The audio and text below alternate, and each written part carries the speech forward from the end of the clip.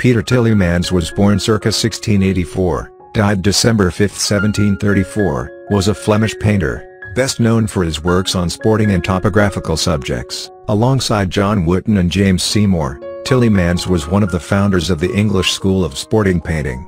Tillemans worked in many different styles and rarely dated his work. After at first working as a copyist, he quickly made his name, and among his first important commissions in England were two paintings of the interior of the Palace of Westminster.